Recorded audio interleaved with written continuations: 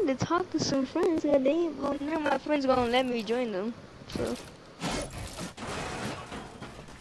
I was get kicked out the party for no reason.